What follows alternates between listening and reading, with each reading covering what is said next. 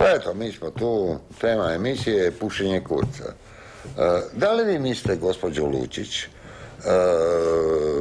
koja ste predsjednica jedne značajne e, stranke u Hrvatskoj, to je Hrvatska radikalna, Radikalna desnica, desnica. tako. Da li vi mislite, recimo kad se prozove jedan drag gospodin, kao što je Šostar, na ovaj odvrtan način, da li vi mislite da, evo sad Hrvatska zna, e, javno zna da jednom e, se političaru pušio kurac.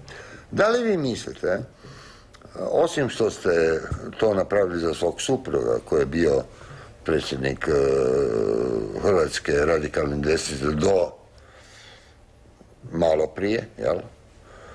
To, da li vi, mislite, to da vi li- kažete. da li mislite recimo da je možda i Radomiru Čakić, Čačiću, kandidatu za premijera Hrvatske, da li je moguće da je i njemu neko popušio kurac? Čujte, Da. privatni život Radimira Čačića, privatni život Vesne Pusić i sve te bulumente iz te njihove antihrvatske stranke me se apsolutno ne tiče. Ali, da se to i dogodilo, to je daleko manje zlo od onog što zapravo... nekom, nekom popuši? Od onog zapravo što Radimir Čačić danas u Hrvatskoj predstavlja kao budući hrvatski premijer. Ali vi ste tu, rekli, da, nje- da Radomiru Čačiću nije neko popušio kurac, ne bi on ovako izgledao na televiziji, ne bi se pravio... Čujte, frajer. Radimir e, Čačić, koliko ja vidim iz novina, a to mogu vidjeti onda i drugi, je već prepariran da zauzme mjesto hrvatskog premijera. Jadna nam majka ako se to dogodi. Radimir Čačić ima iza sebe jednu e, neću reći zločinačku, jer to ne znam da li je kome napravio zlo ili nije, ali da baš nama u Hrvatskoj uvijek na vodeće te položaje moraju dolaziti ljudi iz tih jugoslavenskih, kosovskih, komunističkih, obiteljskih pedigreja, to je jedna stvar, a drugo, ono što je zanimljivo, što se ovih dana piše u novinama, opet Izrael. Opet Izrael, pa stalno Izrael, pa već mi je do tu, pa jel se mi ne vremo maknuti od tog Izraela, pa ja se neću više zvat Ana, ja idem se prozvat Rahela, a ja, vi se zovite Šlomo, pa će nam svima biti dobro. Bez Radimira Čačića. ima? Imao je neke, a on je tamo imao velike poslove u Izraelu i tamo je sklopio ta svoja poznanstva, prijateljstva, a vi znate, putovali ste po svijetu, da se u strane zemlje, bez da se ovaj, čine neke usluge, ne dobivaju ni radni ugovori, a pogotovo veliki projekti. Prema tome, e, pišu novine, ne znam da je ostao u Izraelu dužan, drugi pišu da nije ostao dužan, ali očito je tu posijao neko sjeme i sad oni njega guraju ili da bi im vratio taj dug, da dođe na poziciju premijera Hrvatske pa da pokupi lovu, pa da to vrati Izraelu. Tu su stvari vrlo nejasne, ali je činjenica ta da postoji određena znakovi moći koji njega sad intenzivno guraju i svaki dan je na televiziji i kad jedanput to televizija najavi da je on sljedeći premijer, ja vam garantiram da će on to i biti. Jer o televiziji ovisi ono što će ljudi Pa i ovo je televizija. Dobro, pa ovo je antitelevizija. Ovo je antitelevizija. S druge a ja- strane, e, Od kad je antitelevizija? pa tak ste nam rekli, jel, da se možemo i zabavljati Ma ja malo. sam zajebavam. Da, ali gledajte, hrvatski narode, ništa nećemo dobiti s Radimirom Čačićem. Osim Ni da sa mu strankama, narod- ni Ali sa da li moguće izborima. da mu narod popuši kurac? E, narod e, se može osvijestiti, ali može biti prekasno. popuši. Može biti prekasno. Da. Može biti prekasno, ali ima jedna strašna stvar tu, on je to u istoj stranci sa tom Vesnom Pusić, židovkom, jel, po tati. Kad govorite za Švarca stalno židov, židov, onda ću ja govorit ko je sve u Hrvatskoj židov i što sve u Hrvatskoj rade ti židovi. Ali Vesna nećete Pusić, mi pre- protiv Vesne Pusić. Vesna Pusić je Vesna bila... Pusić je jedna časna osoba. Onda si ju doma posadite u vrt pa nek vam raste. Ne, to je moja prijateljica. Ja sam ju Razumijete? kad je imala 12 godina. Ja, ja osobno Doma si cijenim doma si ju posadite- obitelj Pusić. Doma si ju Ja posadite u ljude. vrs- u vrt, I, pa nek vam raste, još ju Ana, svaki dan Ma, zalijevajte. ne, ma, e, vi ste zajebali. Jesam, tema, da. tema, zašto sam me pozvao, ovdje večeras je pušenje kurca. Čujte. A ne da vi pričate o mojoj prijateljici Vesni Pusić. Vesna Pusić Ona i- je i Radimir, osoba. i Radimir Čačić Shvatite.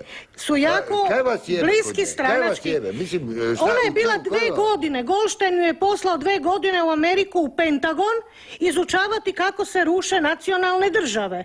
I onda se vratila i onda su stvorili onaj list, list Erasmus i taj list Erasmus saziva, saziva sjednicu kako će se srušiti Tuđmana. Pa, pa to je prvi broj bio. I pazite, ta Vesna Pusić, da ništa u životu nije loše napravila, da je čista ko sunce onog časa kad je ona izrekla da je Hrvatska izvršila agresiju na Bosnu, a Radimir Čačić tome sekundirao i s tim se složio, svaki Hrvat ima pravo udaljiti Vesnu Pusić iz hrvatske politike. Pa nemojte se zajebavati, gospođo. Ne to su strašne stvari, to su strašne stvari. Tako, je Hrvatska, Hrvatska ma ne izvršila agresiju na Bosnu, Vesna. Pusić Ma govori u. Hrvatskom Ma- saboru ma- i mi ćemo ma nju čekaj, imat sutra ma- za, ma- za Ma gradonačelnicu. ne, ali mi možemo pričati... Da sav i ono novac pa ode u Izrael. Pa.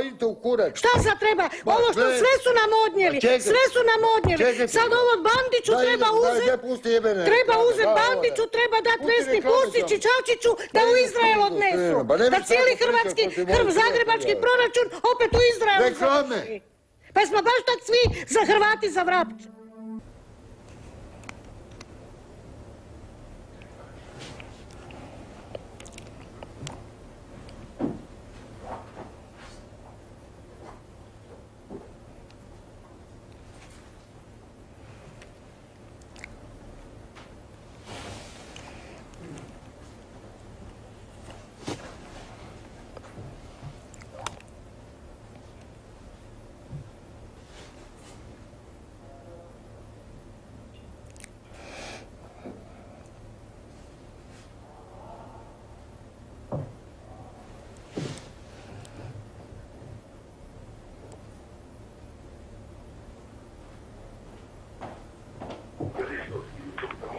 Halo, Izvolite.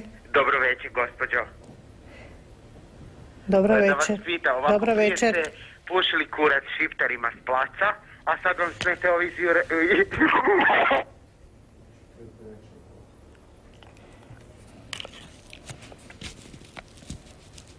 Halo, Izvolite.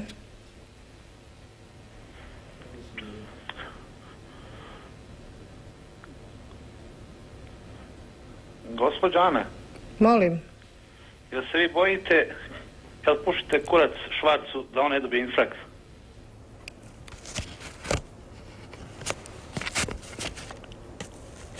Ja se bojim za vaše mentalno zdravlje.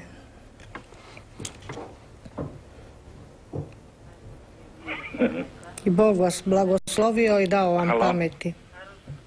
Halo?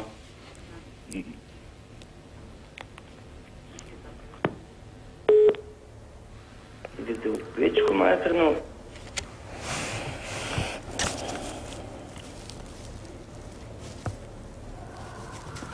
Evo se da vrijeme. Izvolite, pitanja molim, da ne gubim tu vrijeme uzalud. Halo, Da nešto čujete pametno, je li se čujemo? što inače ne možete pročitati u novinama. Ono bar večer. Je li se čujemo? Dobra večer. Želim vam svako dobro. Hvala, također. Prekrasno izgledate. Ali me malo prije iznenadio gest o, Vesni Pučki i o Radimu. Ne čujem vas dobro. Malo me iznenadio vaše, iznenadila vaša priča o Vesni Pučki i o gospodinu Radomiru Čačiću. Da. Oni su jedni divni ljudi i Željko ima pravo što je ubacio reklame i smatram da ste vi jako pametna žena i da niste pametni ne bi bili predsjednik stranke i tako dalje i tako dalje. A mislim da nije ni u redu da govorite o vašim kolegama. To nisu moji kolege, to su moji neprijatelji. Svaki onaj ko je neprijatelj Hrvatske, to je i moj neprijatelj. Vi znate da je Stalin 32. ne znam 33. pomorio oko 6-7 milijuna Ukrajinaca glađu. Ako nam Čačić i Pusička odnesu još ovo malo novaca što je ostalo u Hrvatskoj, Hrvati će isto tako umrijeti od gladi jer proizvodnje nemamo, ništa ne proizvodimo, do- zatvorit će nam granice carinske i ovaj, neće biti ni mrkve, ni češnjaka, ni, ni, ni krumpira, a neće biti novaca ni otkud to kupiti, jer proizvodnje nemamo. I samo si želite Čačića i Pusičku, pa da vidite što će vam se onda dogoditi. Da li ćete voziti automobile i da li ćete imati za kilu krumpira. Halo, halo, dobro večer. Halo, dobro večer. Dobra večer, jeste učili u školi. Lijepo se kaže da imate večer je ženskog roda. Ova večer, jel tako? Da, tako je. E, onda lijepo kažite dobra večer. Dobro večer. Mhm. Može jedno pitanje. Da li ste vi s njim dobri? S kim? S kim? S kurcem mojim. A vi niste dobri sam sa sobom. Halo. Dobro večer. E ja smijem učlaniti u vašu stranku ako je moj djed bio Ustaša? Da pače, da pače. Za dom spremni.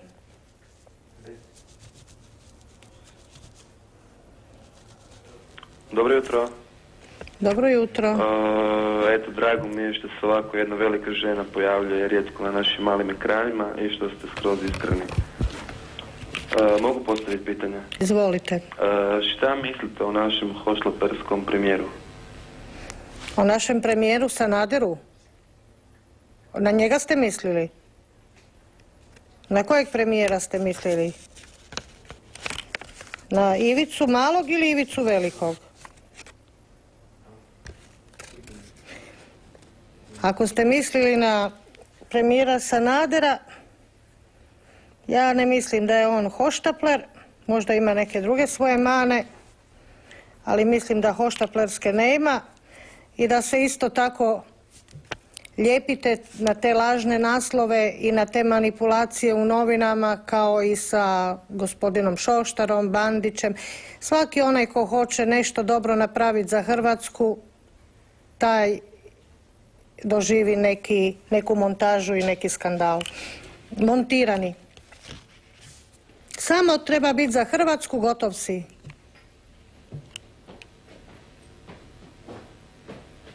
Halo, dobro večer.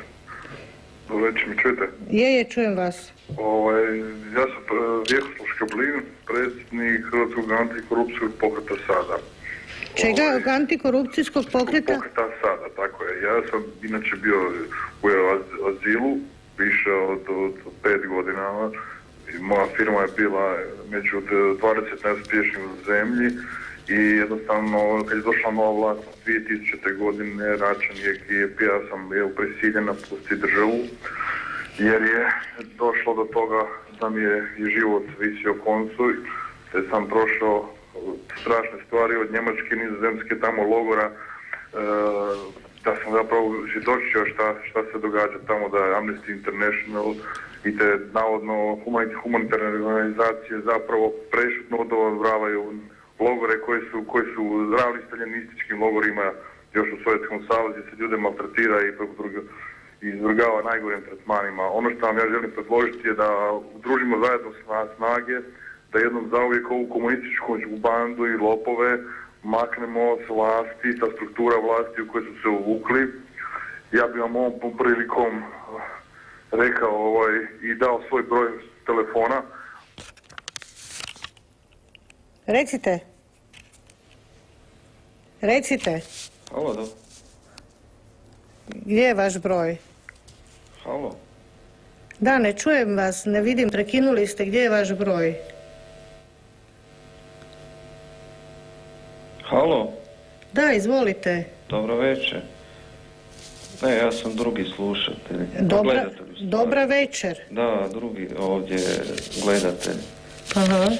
Pa ovaj, htio bi reći da ovi tu što se javljaju nije to baš u redu da se ljudi vređaju i to.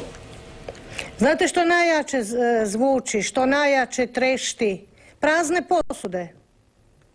Jeste ikad to eksperimentirali? Najjače zvukove stvaraju prazne posude.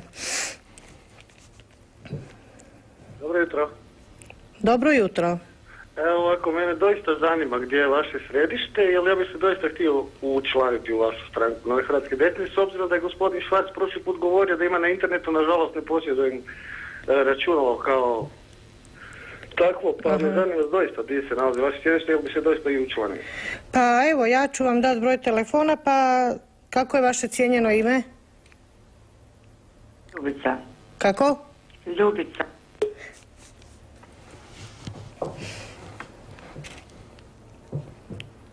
Ja sam pitala gospodina koji se prije javio, ne znam zašto ste ga prekinuli, kako je njegovo cijenjeno ime, da mu mogu dati broj telefona, a možda će se javiti ponovo.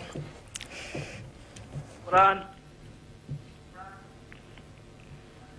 Pošto imate veliku surlu, jeste kad probali pušit kurac i zabijat svoju surlu u šupak?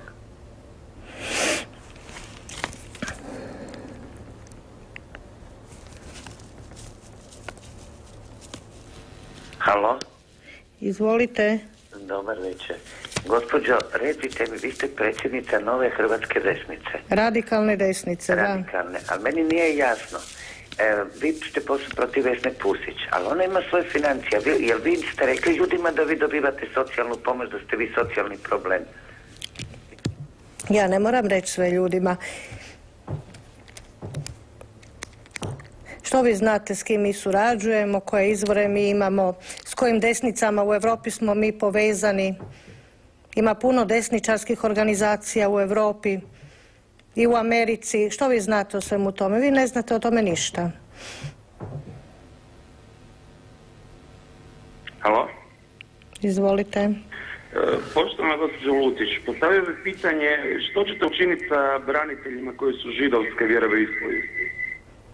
Svaka im čast ako su hrvatski branitelji.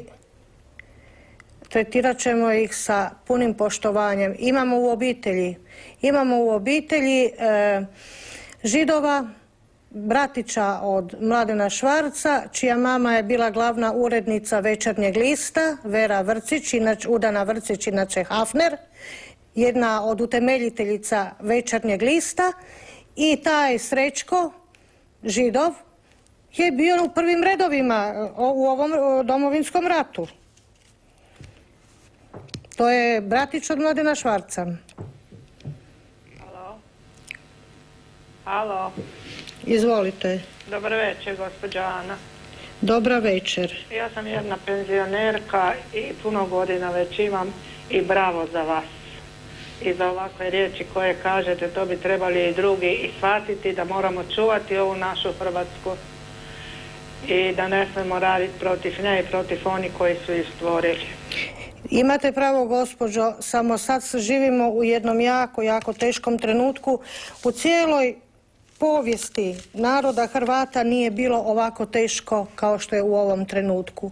Mi živimo pod takvom jednom groznom okupacijom. Nama se ne, doz- ne dopušta ništa proizvoditi. Mi nemamo poljoprivredu, nemamo industriju. Nama se uzima Jadranska obala i da sad dalje ne, ne odgovaram jer bi previše čekali na telefon, a to puno košta. Možete se javiti pa ovaj, ću vam ja sve ispričati na koji sve način se ovog časa uništava Hrvatska i hrvatski narod. Halo, Izvolite. šta mislite o, prvom hrvatskom predsjedniku Tuđmanu? Prvi hrvatski predsjednik je bio Ante Pavelić. On je prvi hrvatski predsjednik koji je nakon 800 godina obnovio 10. travnja 1941. Hrvatsku državu. Predsjednik Tuđman je drugi hrvatski predsjednik.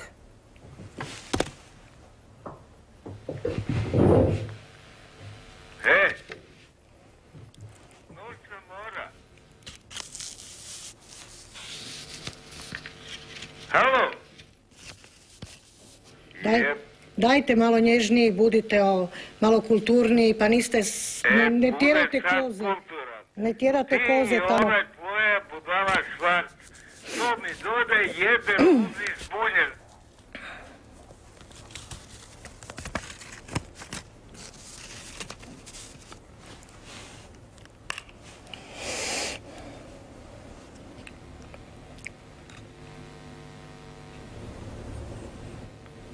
Halo. Halo. Izvolite. E, što mislite o ratu Hrvata i muslimana u Bosni? To je organizirala CIA. To je rat isprovociran od stranih obavještajnih službi. Evo imate ih u Zagrebu. Šeću trgom Bana Jelačića i po cijeloj Hrvatskoj komravi. A mislim da do tog rata nije trebalo doći. To je velika tragedija za Hrvatsku. Možda smo bili malo pre naivni i da su nas te strane obavještajne službe uspjele uvući u te sukobe. S tim što morate znati da Tuđman nije dijelio Bosnu, to je jedina povijesna istina, to je mantra koja se ponavlja. Tri stvari, dijelio je Bosnu, Salveta, nije mi žena židovka ni srpkinja, stoka sitnog zuba i to vrte, vrte Golštajni, vrte, vrte, vrte, 24 sata na dan vrte to. Mislim, ja ne znam što oni misle o nama Hrvatima, da smo svi umobolni? Uglavnom, ovaj, e, Ante Pavelić, e, a Tito, je od muslimana napravio za deset godina Jugoslavene. Ante Pavelić je rekao da su muslimani cvijet hrvatskog naroda i bila je Handžar divizija. Da se vodila jedna drugčija politika u Hrvatskoj, e, mi smo danas od muslimana mogli napraviti u ovih 15 godina sve Hrvate. Sad je to kasno, oni su sad nekak bošnjaci, što ne znači zapravo ništa, ali prilika se propustila, to ne znači da se neće ponovo u budućnosti ponoviti. Muslimani su Hrvati muslimanske vjere. Dobro večer. Drago mi je. Prosim lijepo, evo, ja bi jedno vrlo kratko pitanje, ali bi želio isto tako dobiti od vas jedan pošten i iskreni odgovor. E, kojega porijekla je gospodin Mladen Švarc? To je sve što imam pitanje. Hrvatskog, hrvatskog porijekla. Ovako, vi ako ste, meni ne vjerujete, vi možete otići e, na matični ured u općinu Maksimir i vidjet ćete gdje se rodio, kad se rodio i 47. godine kad se rodio u Petrovoj bolnici, otac i majka to tamo piše, to sutra uzmite kompjutor ili odite tamo pa to provjerite. I otac i majka su mu se deklarirali Hrvatima. Majka iz tamo Križa, Novoselec Križ, a otac iz Hrvatske, e, iz Hrvatskog Banata. Jer je za vrijeme Austro-Ugarske, e, kad je on rođen, to bila Austro-Ugarska, ali to je Hrvatski Banat. Nisu se deklarirali ni kao Jugoslaveni, ni kao Židovi. Oni su židovskog podrijetla i otac i majka, ali se nikad tako nisu osjećali, jer je vidljivo 47. godine iz njihovih izjava. Prema tome, Mladen Švarc nije odgajan u židovskom duhu, nikad nije zalazio u židovsku općinu, ne zna e, hebrejski, prema tome on je Hrvat i hrvatski nacionalist. Da je njegovom ocu i majci, on to tako tvrdi, bilo loše u NDH, onda se oni 47. sigurno ne bi deklarirali Hrvatima. Jer su jedan i drugi, i po mami i po tati, s jedne i druge strane židovi.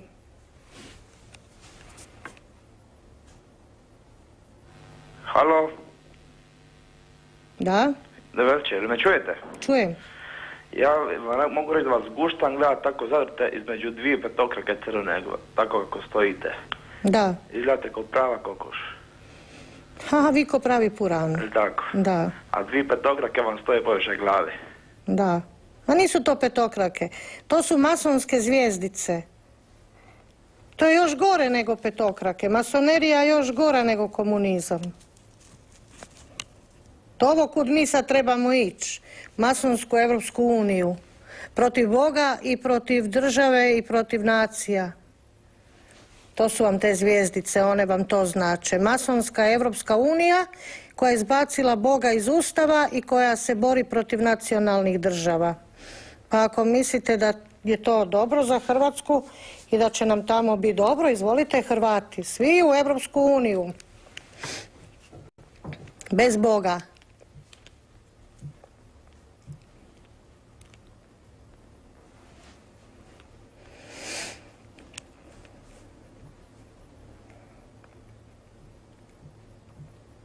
Izvolite, nemam ja toliko vremena.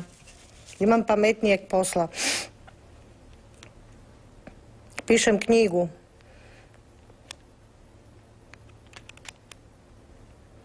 Halo? Ja, o, ja sam e, akademik iz Splita. Drago mi je. Strašno mi je da, da čujem ovo što vi govorite o, o svojem mužu. Da? Mi imamo u podatke da je vaš taj mali e, židov, e, e, njegova majka je židovka, a vi dobro znate židovski za- zakon kad je majka rodi sina, da je on židov. Čujte. I on se može deklarirati kako god hoće, ali za nas je uvijek židov. On je hrvatski Mi, naci- mi, mi, On je njega. hrvatski nacionalista, on je to svoj, on je to svojim životom, on je to svojim životom dokazao svojim dijelima, ali dobro, dobro što, što ste zapeli, što ste zapeli sad za to, što ste zapeli za to, židov, židov, židov, Ja, pa ko- Gošten ako vam je židov, pa Puhovski vam je židov, pa pa Porges vam je židov, pa Kraus vam je židov, pa cijelu vam je židov, pa hrvatski koliko židova, pa Hebran Vi židov, na, židove. na desetke Ako političara u Hrvatskoj ako koji su židovi, šta nikad njih ne dirate, šta ste se švarca uhvatili? Sramota je da ćete vi biti ta koja će ljegat, ljegat jaja za židove. Vi ako ste, vi ste nezahvalni, vi ste Ako nezahvalni. ste gledali film o vanzemaljcima, onda vi to znate. Vi ćete biti ta koja će, koja će... Ništa ja vas ne razumijem. Ne, naučite se- Jer ste se oženili za židova. Naučite se prvo govoriti, ja vi- ništa vas ne razumijem. Super. Halo, se čujemo? Čujemo. E, zanima me vaše mišljenje o Istrijanima i o Talijanima u vezi Istre. Hvala. Čujte, e, Istrijani u Hrvatskoj ne postoje.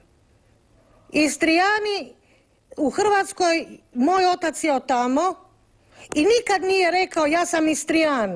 Uvijek je rekao ja sam Istranin. Prema tome, što sad to znači Istrijan? Talijanski naziv za Istru.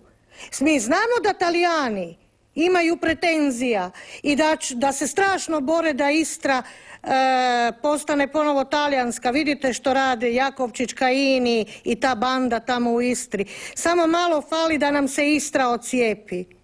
Ali Istra je hrvatska zemlja i nemojte govoriti Istrijani, nego kažite ja sam Istranin. I gotovo. I to je Hrvatska.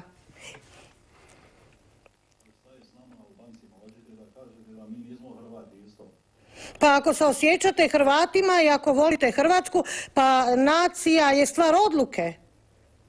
Ne, mora, ne broji se nacija po krvnim zrncima, nego pa i gledajte u Ilivskom pokretu e, koliko je bilo i ovih stranaca i Demeter i, i koliki Ilirci i sve to, pa, e, pa ovaj, su se svi osjećali Hrvatima, svi su bili Hrvati. Znači, e, stvar e, e, nacije nisu krvna zrnca, nego odluka.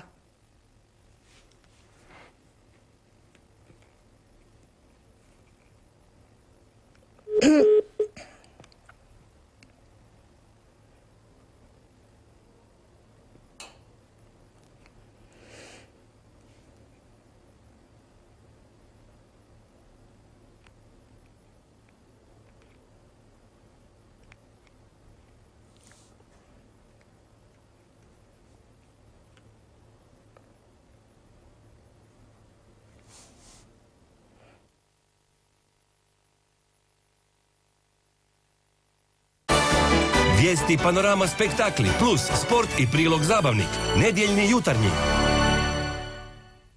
Enigmatika humor. U središte zbivanja vodi vas vaša i naša Slobodna Dalmacija.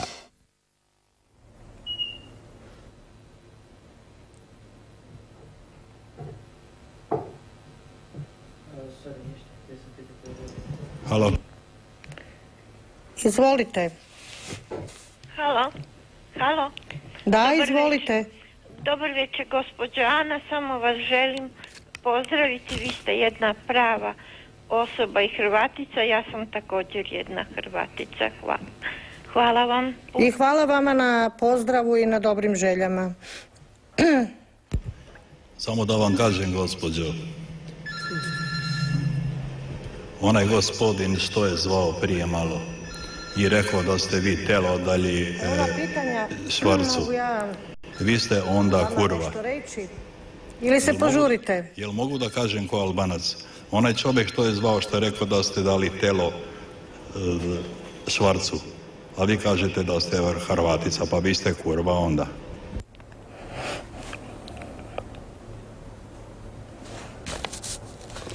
Evo ovih dana ste mogli puno pratiti na, na televiziji, u medijima, to se okreće non stop o slučaju Sunčani Hvar.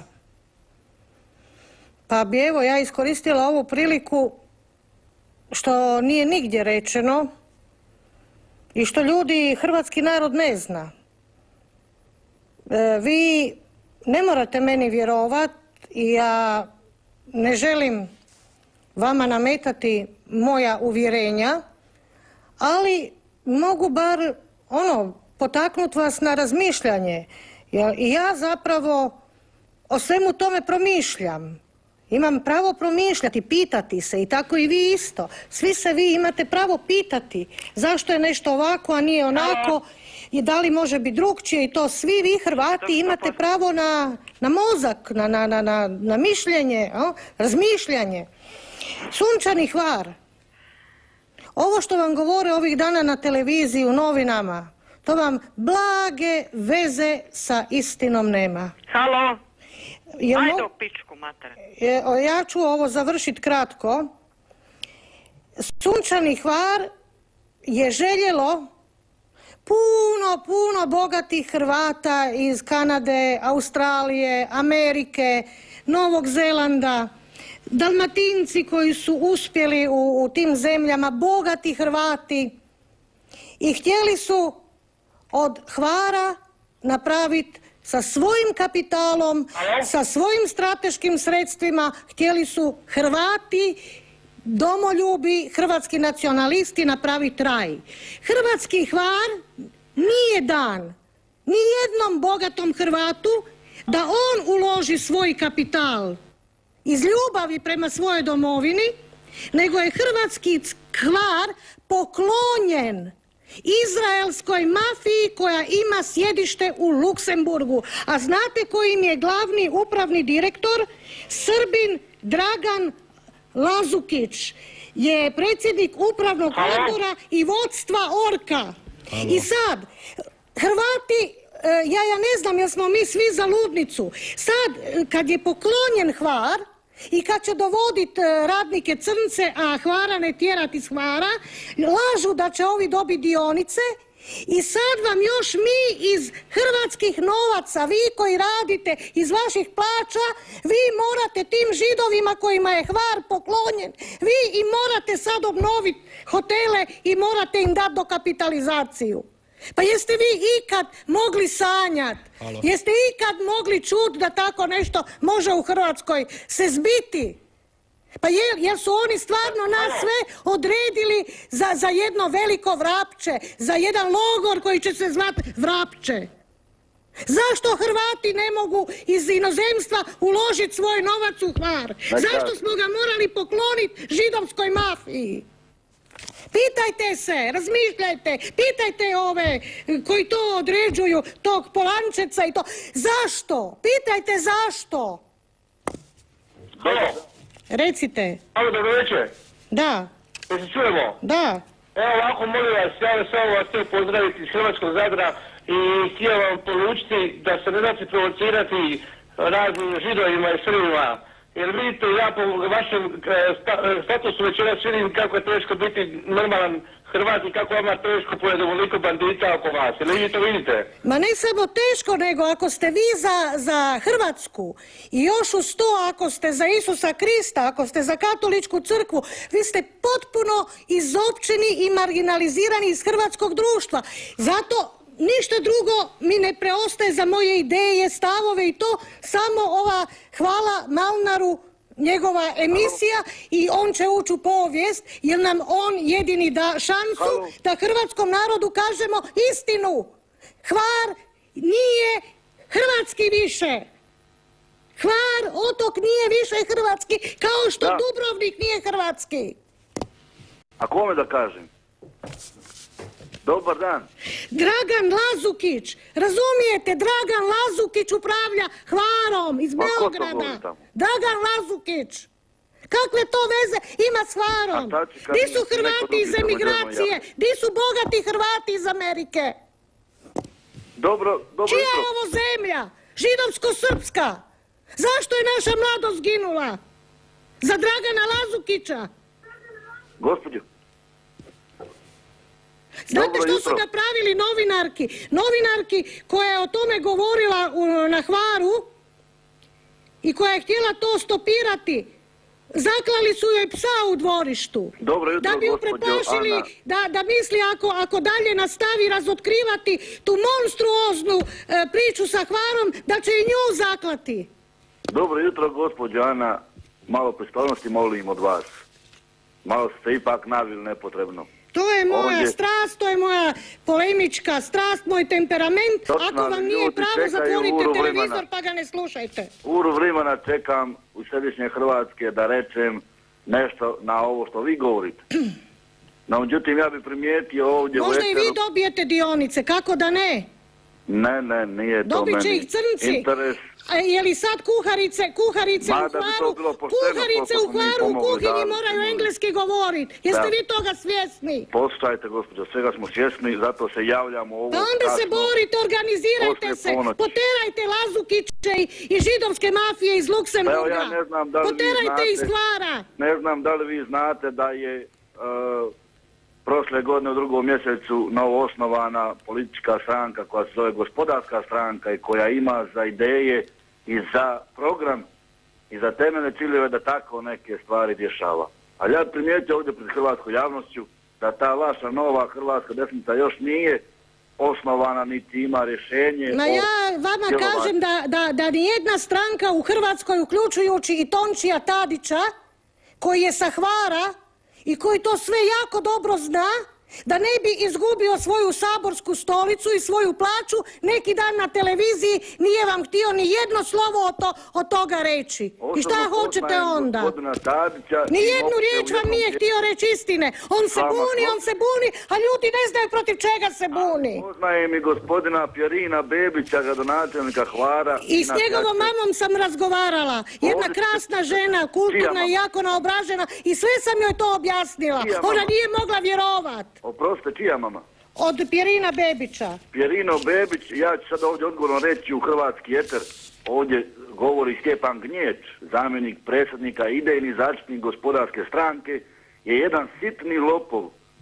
To je dokaz u Hrvatskoj državi kako sitni lopov može prerasti uvaženog građana. Ja to nisam znala. Hrvatske. Ja Evo to nisam znala i, dok, dok ja ovaj, za to ne dobijem argumente, ja ne mogu vama a priori vjerovati. Jer za sve ono što se protiv nekoga govori treba biti argumentirano. A mi Hrvati smo jako skloni tim paušalnim procjenama, tračevima, klevetama. Kad vi meni podastrite dokumente iz kojih se vidi da je Pjerino Bebić lopov, onda ću ja vama to vjerovati.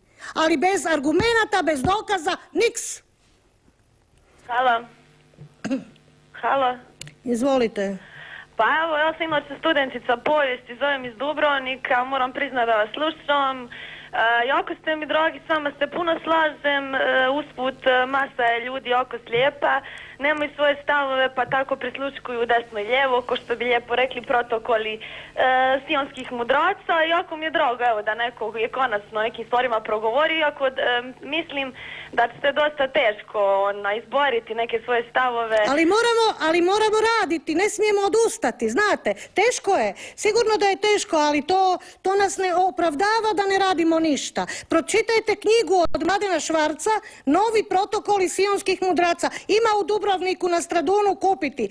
Pa ćete vidjeti kako analizira što su masoni u ovih sto godina postigli. Što su zacrtali i što su postigli. Molim vas, pročitajte taj jedan bestseller koji se sada prevodi u Rusiji, u Kini, u Iranu, u arapskim zemljama. Novi protokoli sionskih mudraca ili kako uništiti svijet od Mladena Švarca. Dobro jutro. Dobro jutro. Prosim, lijepo, ja vam poslije jedno pitanje, ja bih vas molio da me ne prekidate. E, želio bih da saslušate do kraja, pa da mi fino ovaj, odgovorite. E, prije na pola sata ste rekli da je gospodin Švarc rođen u Banatu. Ma od- otac mu je rođen u Banatu. Dobro, otac, u redu. E, nije dobro, židovskog- dobro. Dobro, u redu.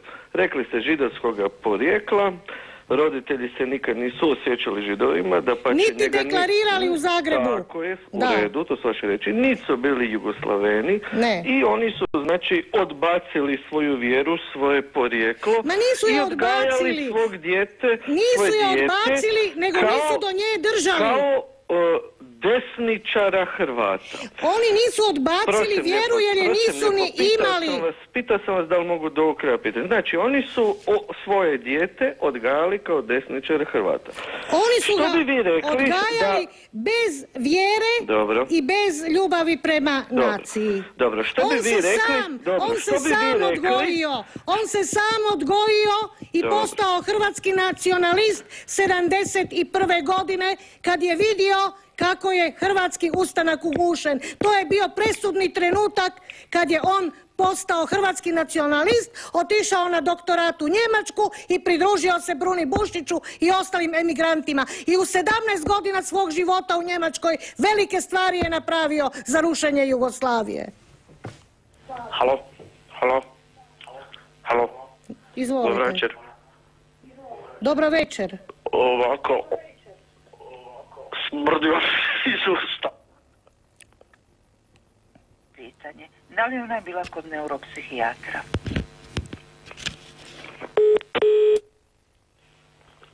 Halo? Dobro večer, gospođo Lučić.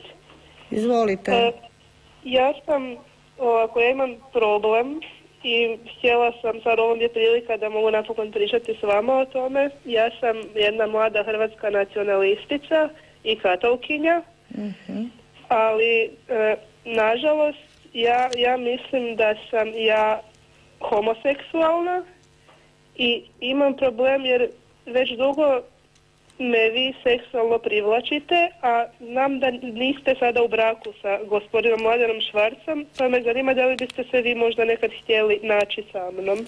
Nema šanse. Vi budite u svom privatnom životu ono što hoćete, u svoja četiri zida. Svijet je takav kakav je, ja nisam tu da nikoga osuđujem, niti da ovaj, moraliziram. Vidi se da se dogodila jedna- dekadencija, jedan pad, tako je bilo i pred kraj Rimskog carstva. Prema tome, ovaj, ja nisam pozvana mijenjati svijet, ja nisam Bog. Ako vi imate te vaše sklonosti, meni je žao, u svoja četiri zida možete raditi što god vas je volja, ali ono što je meni degutantno je kad se to javno demonstrira i kad se zapravo ovaj, želi e, preuzeti vlast. Htjeli, hoće sada homoseksualne udruge u Americi i svugdje, hoće doći na vlast. E, mislim, to već malo predaleko ide. A ja tih sklonosti nemam, nažalost, pa se obratite nekom drugom. Dobro večer. Dobro večer. Drago mi je. Alo, e, drago mi je što sam vas dobio. Bio sam toliko uporan i čas mi je što razgovaram sa vama predsjedniče, predsjednice Lučić. Recite mi, kako bi se ja mogao prijaviti u vašu stranku? Pa prijavite se, daću vam broj telefona pa nazovite. Pa ćemo se dogovoriti. Dobro jutro. Da? Dobro jutro, ja se čujemo. Je. O, da, možete li mi samo reći jednu stvar, molim vas? Mogu i dvije. E, hvala puno. Šta- bi, se, šta bi se dogodilo da su Hitler i Ante Pavelić pobjedili u drugom svjetskom ratu? Da li bi Mladen Švarc ostao živ do sada ili ne bi? Bi. Bi, jer je njegov bratić. Njegov bratić koji evo još i danas e, živi u Zagrebu, malo je stariji od njega. Njegov bratić po tati bio e, pilot u Hitlerovim postrojbama SS Waffe. Danas je još živ tu u Zagrebu.